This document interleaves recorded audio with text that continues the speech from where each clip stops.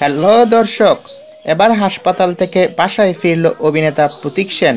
আর এবার প্রতীক সেনকে দেখতে গেল মোহর সিরিয়ালের আদিসার ও অদিতি ম্যাম। আর এবার অসুস্থ শঙ্খ অর্থাৎ প্রতীক সেনের জন্য মিডিয়ার সামনে এলো আদিসার প্রতীক সেনকে নিয়ে একই বলল আদিসার তা জানার জন্য আমাদের ভিডিওটি দেখুন। আর আপনি যদি আদিসার ও অদিতি ম্যামের ফ্যান হয়ে থাকেন, তাহলে একটি লাইক দিন। প্রতীক সেন কী কারণে অসুস্থ হয়েছে সেটা আপনারা অনেকেই জানেন। তবে অসুস্থ থেকে দিন দিন সুস্থ হওয়ার পথে প্রতীক। ইতিমধ্যে হাসপাতাল থেকে বাসায় ফিরেছে এই অভিনেতা। আর তাকে দেখার জন্য আত্মীয় স্বজন সহ মোহর সিরিয়ালের তারকারা তার বাসায় আসছে।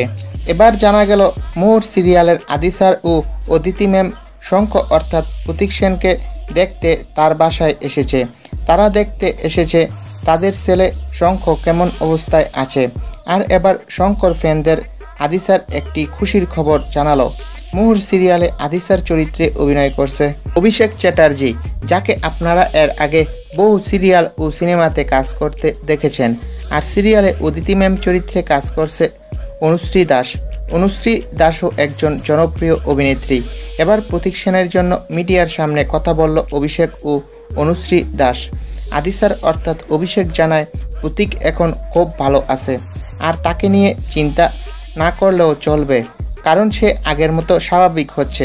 অভিষেক জানায়, সিরিয়ালে সে আমার সন্তানের ভূমিকায় আছে, তবে বাস্তবেও তাকে আমি আমার সন্তান মনে করি। দর্শকদের উদ্দেশ্যে অভিষেক জানায়, তিন দিনের মধ্যে প্রতীক পুরোপুরি সুস্থ হবে। আবার তাকে আমরা শঙ্খ চরিত্রে দেখতে পারব। কে কে আবার তাকে সিরিয়ালে দেখতে আগ্রহী তা আমাদের কমেন্ট করে জানান। আর ভিডিওটি ভালো লাগলে একটি লাইক দিন। আর এ ধরনের ইন্টারেস্টিং আপডেট পেতে আমাদের সাথেই থাকুন। ধন্যবাদ।